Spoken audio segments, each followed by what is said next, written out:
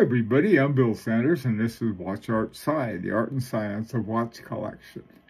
Uh, today what I want to do is being a watch snob but on a budget. In other words, you don't have a lot of money but uh, you want to be a watch snob. Well, what is a watch snob?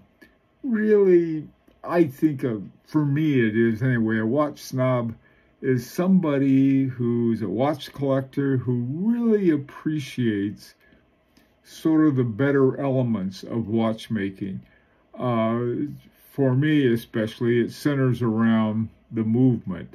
However, it also includes the dials and some other aspects uh, that go into a watch, the case, the band, everything. Um, so, how do you do it on a budget? Okay.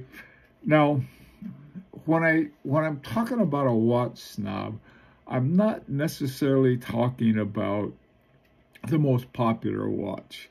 Uh, let me tell you something that happened at a uh, at a watch show I went to.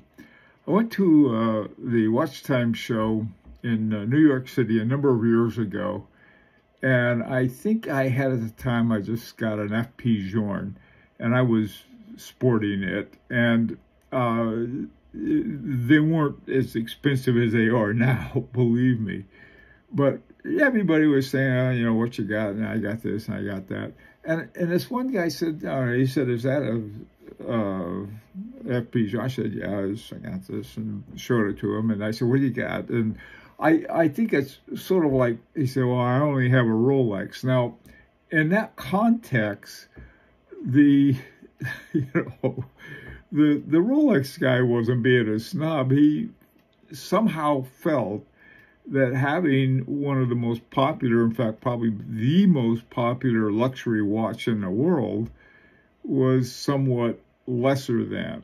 Okay, so I just just remember, just keep in mind the context of watch ownership. Now, is the Rolex owners I know, for the most part, they just like the watch because it works well, it keeps good time, they like the looks of it, the feel of it, and everything else about it. So that's, you know, that's not being a, a snob nor sort of a, I don't know what, a non-snob. Uh, however, uh, I quickly realized once I got into uh, watch collection, especially since I had recently retired, that I got to find a way to get some of these watches that I want. Uh, but, you know, is there a way to afford them? Well, what I found early on was that I got this uh, this Harry Winston. This is a Harry Winston by retrograde. And um, I was very interested in the uh, movement in it and so forth. I figured, well, Harry Winston's a well-known jeweler, but, you know, what do they know about watches? Well, it turns out that they they were pretty smart about watches because what they would do is they would hire the very best people uh, who were watchmakers. Uh, in this case, two of them were Roger Dubuis and Jean-Marc Wiederrecht. Jean-Marc Wiederrecht was the very first watchmaker to win Watchmaker of the Year back in 2007. And so getting to Harry Winston now, a lot of people would say, oh, Harry Winston, that's a jeweler, jewelry watch, not a real watch. Well, it turns out that the opposite may be true because uh, where you have these companies, they've got a lot of money, but they don't have watchmakers. And so they have to go out and they find some really top-notch watchmakers. Now there I've got a couple Chaumet uh, watches. They don't make either one of them anymore, by the way. In fact, I think Chaumet totally quit making men's watches altogether. Chaumet was, the history of Chaumet is one that's just, you know, goes back. They made the hilt jewels for Napoleon's sword and his wife or girlfriend's mistress, one of them, you know, jewelry for her. And Chaumet is like a very, very wealthy, uh, well-known uh, jeweler. And uh, so when they want, they somebody decided there at some point, well, let's make let's make watches. And so they went to, they did two things very interesting. On the one hand, they had a underneath, they had a very solid uh, ETA movement, nothing fancy, just a regular timekeeping movement. And the and then on top of that, they wanted to put something fancy, and so they had Jean-Marc Wiederrecht uh, do the uh, do the movement for them, or add a module to the movement. And the module they uh, they added uh, was this second hand. Now they did the second hand in two ways: there's a regular second hand, and also as this Ferris wheel. And there's this wonderfully slow, gradual movement that was because of the module uh, that's pictured there next to it. They did another one. They did the uh, Chaumet had something called the Dandy Metronome. You know, I tell you, if, if, you're selling guys watches, name it something other than a dandy. that would be my advice. Uh, but uh, so they they had one, so it had a metronome. It's TikTok for you know they're using timing music, and again, um, Wiederrecht and Agenhor did the uh, uh, did the uh, module for them. Now, one of the other things about some of these top jewelers is the cases they make are incredible. They really make these world-class uh, cases that are way punching way above their weight as far as um, I mean, you know whether you like the looks of them or not. That's a one. That's neither here nor there. They're really they're made. They're very well made cases Okay, moving right along. Now, we want to be a watch snob, but we don't have a lot of dough, so let's take a look at, at the lessons we need to learn. And I think the first lesson is, and it's always the last, last lesson, find out what's inside of it. Uh, here, there's some watches. There are three watches. All three of them have a world-class uh, watchmaker. One of them has two world-class watchmakers. Okay, the second is trying to find an affordable complex function. Uh, I was out looking for a uh, an equation of time watch, and the prices, even on the used and so-so ones, were were really very very high. Uh, for example, the, the cheapest one I could find uh, the second cheapest, I should say, was a Panerai Luminor equation of time was 11,000 bucks. This I found on uh, Chrono 24 just today. Now, uh, the ones that they're still making, uh, um, they're not, they don't make a lot of them, but this is Breguet uh, Marine equation. Uh, and that thing is $242,000. you know, well, they stuck a tourbillon in and they always jack up the price when they do that. But 242,000 bucks, no way I can afford that. So what I found was this Longines with um, it, it's it's a wonderful watch. It's got a an equation of time. It has a a little thing here that you can stop and turn it on. Now this this watch was from 1989 when they had some kind of big celebration of 150 years or whatever it was for Longines.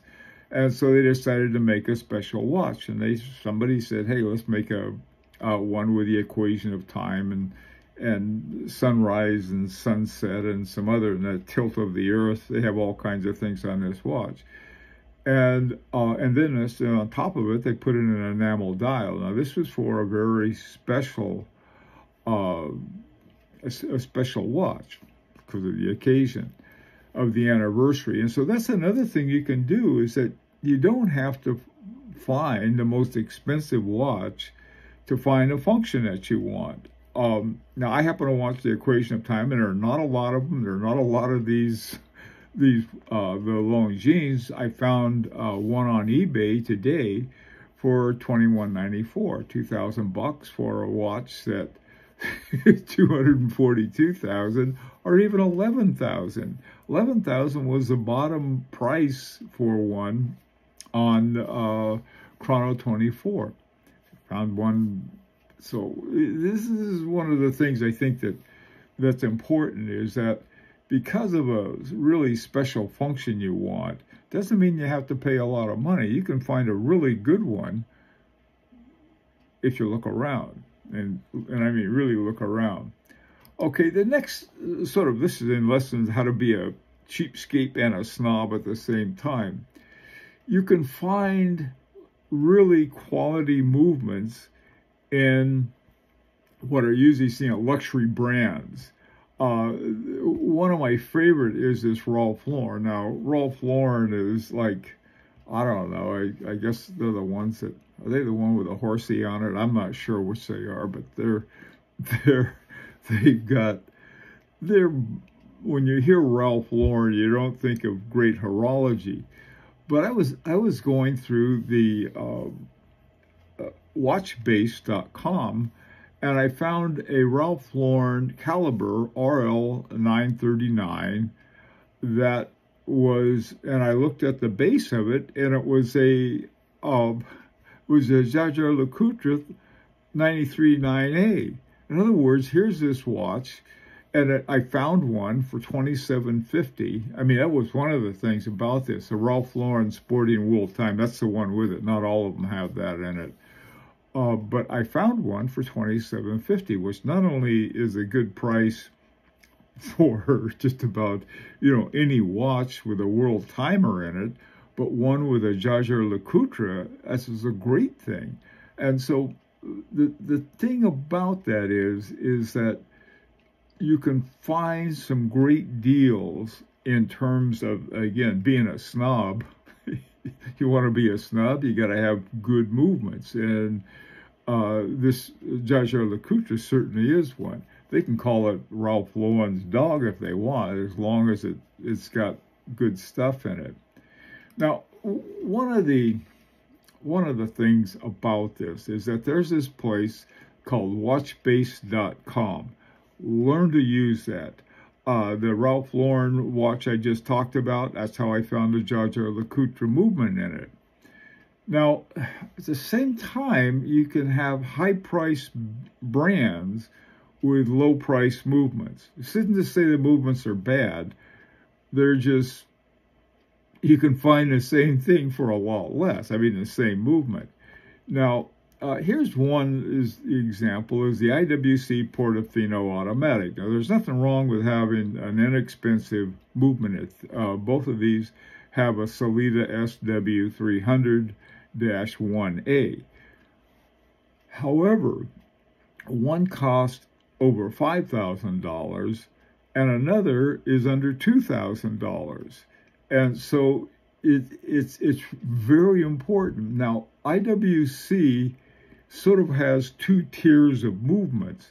Unfortunately, they don't really say, okay, here's our, this is, if you buy this watch, you're getting a Sellita 300.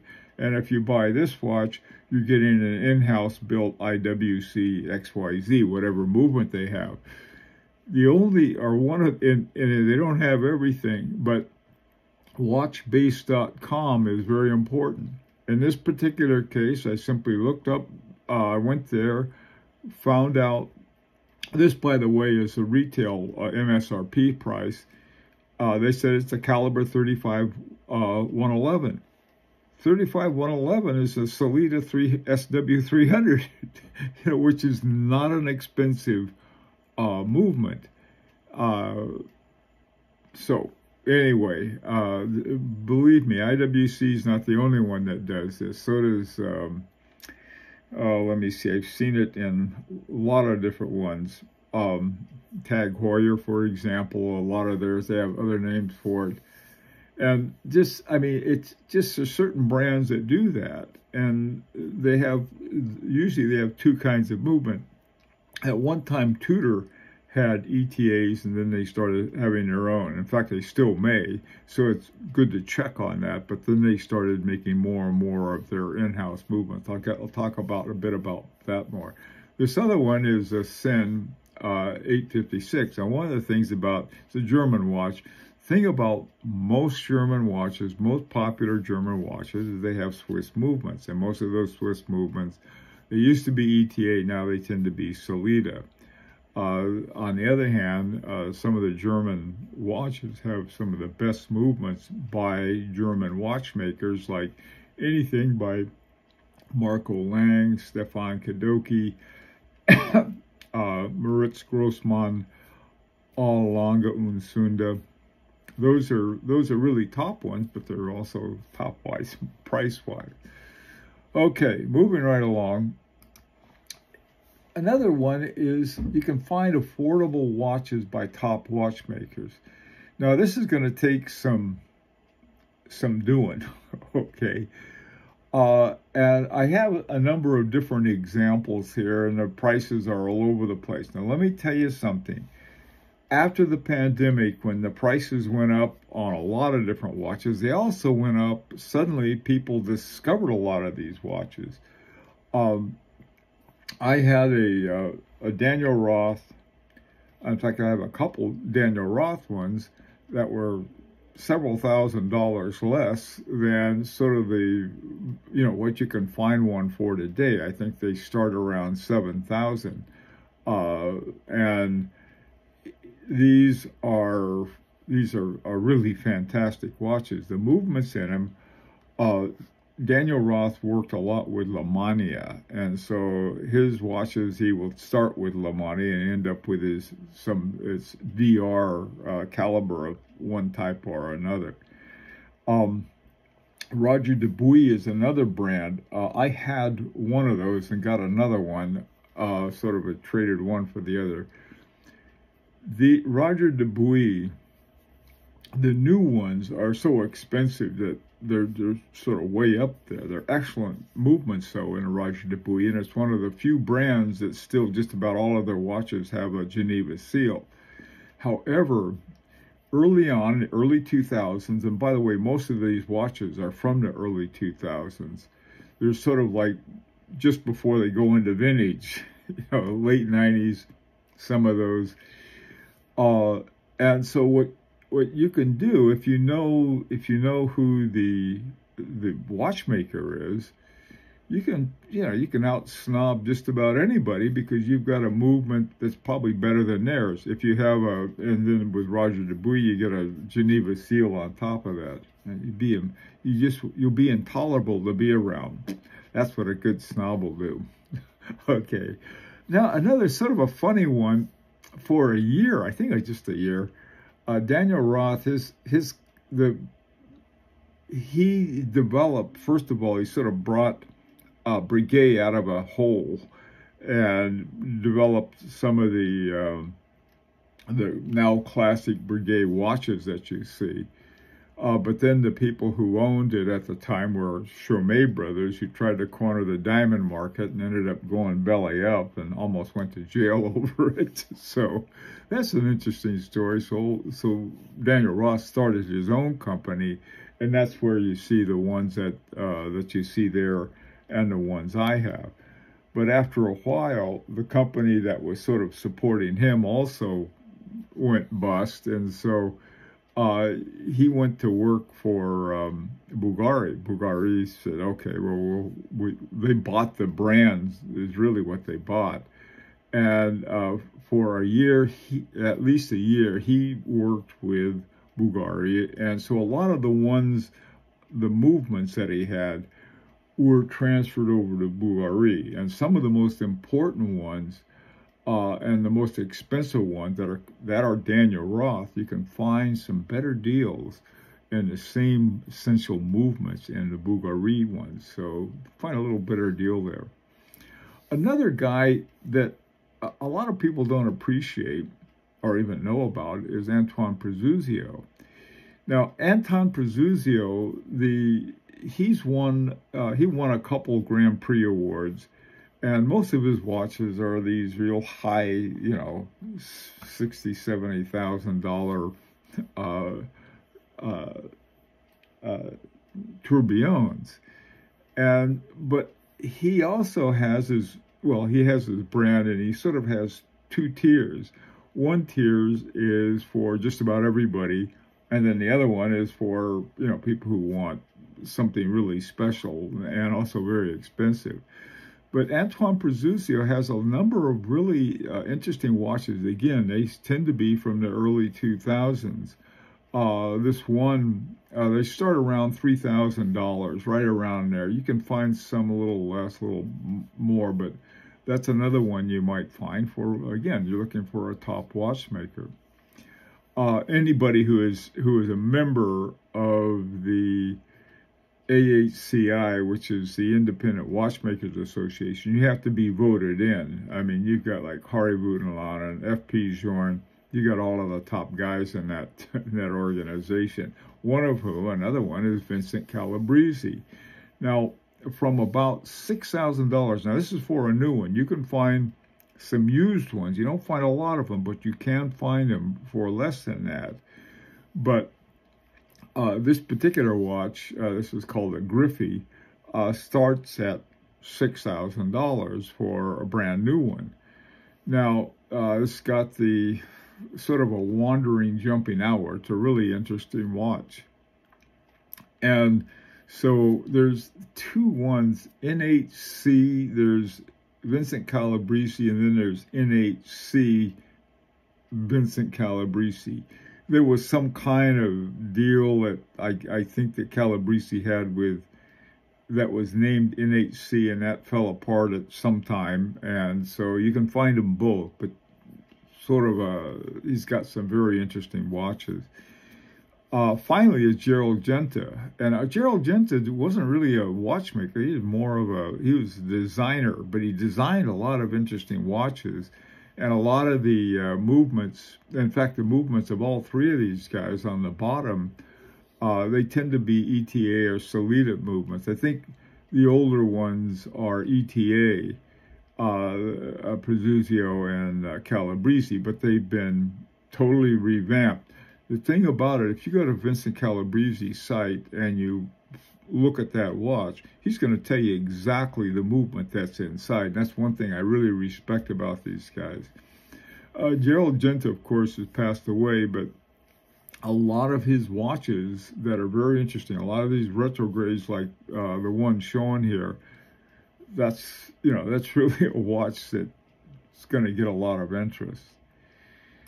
Now, the final thing I want to talk about is that is that more and more luxury brands are owning top movement companies, uh, either the whole or in part.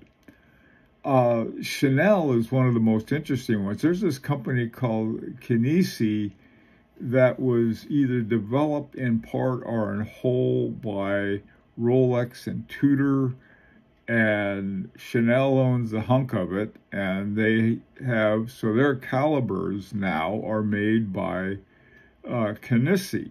Kenissi, I'm not sure how you pronounce it. Their first one is uh, the uh, 12.1, Kenissi caliber 12.1.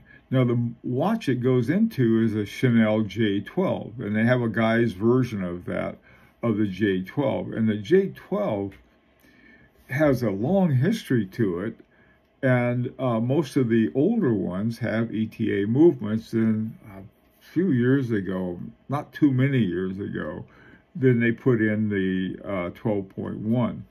And I think if you're looking for one of those and you like the looks of them, and I happen to like the looks of them a lot, they have a. Um, I found one for 3000 right around 3000 pre-owned.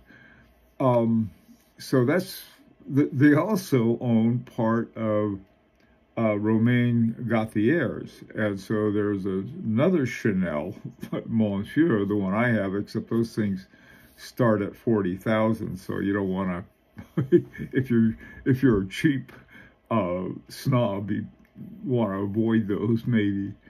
Now, another brand is Hermes. Hermes bought 25% of Vaucher manufacturer Fleurier um, VMF.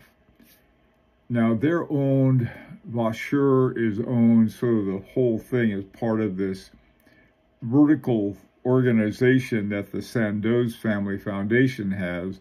Uh, they're the ones who also own Parmigiani. But uh, Hermes wanted to have some of their own stuff uh, their own movements and some more than just, you know, like give me whatever you got on the shelf. And the, I think they have two that have been done so far. One is the 1837, and there's another one, it was 19 something, 1919 or something like that, that's called a Hermes. Uh, and also, too, I think there's some Vaucher movements. Now, Vaucher movements make some movements for Parmigiani and some other ones, very high level movement. Uh, and they cost more because of that. Now, the final one I want to talk about is Louis Vuitton LVMH, which stands for Louis Vuitton uh, Maurice Hennessy MH, yeah. Uh, and the Louis Vuitton, again, here's a, if there was ever a luxury company that didn't sort of go with watches, it would be them. But they bought a company called La Fabrique du Temps. So they bought their own full-blown movement making company. And uh, one of the first ones they made for them was called the LV60 that I have pictured there. Now, the Voyager GMT has, I think, the movement in it is a was I think the base movement may have been something like an ETA or something and was worked over by La, Frique, uh, La Fabrique du Temps. And uh, but then later on they came up with this. Uh, they had sort of a skeletonized version of the watch of the Voyager, and uh, they came up with the uh, LV60. And I think that may have may have some relationship to whatever the movement was originally, but it's like it's brand new. Now, the whole point of all of this, if you want to be a watch snob, you don't have to be a one that is in debt, all right? In fact, never buy a watch you can't afford. The thing is, is to find watches you can afford, but they have their good quality watches. It's easy to find a cheap watch. That's not a problem at all. You can go to eBay or, you know, walk down the street and find one. But finding one has to do with spending some time with it the one I'm wearing, I've talked about a lot. This is my uh, Fabergé um, Alexi.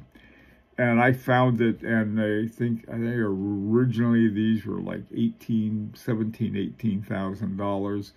Uh, this is in, in white gold, automatic, yada, yada, yada. And, but the thing about it that's important is that it has a Frederic Piguet movement in it. And so it's not the fact that it's Fabergé. Fabergé is like a luxury brand as far as I'm concerned. You know, make perfume and Fabergé eggs. It's it's really looking and trying to find quality. The snobbiness, to be a snob, you've got to find the right quality. Any dope with a lot of money can buy quality or what they think is quality but to be a sort of a poor watch snob, it takes, you've got to look at more than just the surface. You have to find out about horology. And finding out about horology is not like a the worst hard work you can do. If you're a watch collector, you should enjoy watches. And if you enjoy watches, you can enjoy learning about them. Let me know what you think if you're interested in being a watch snob or not. Uh, it's just a lot of fun. Uh, opportunity to subscribe if you like. Until next time, this is Bill Sanders for Watch Art Sci, the art and science of watch collection.